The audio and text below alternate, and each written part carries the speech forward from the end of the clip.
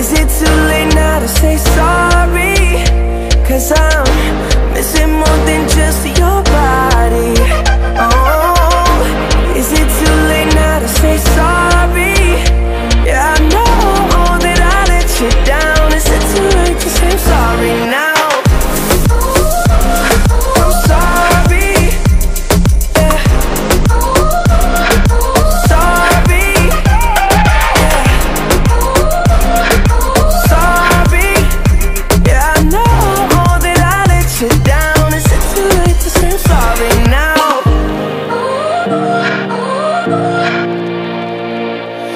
take every single piece of the blame if you want.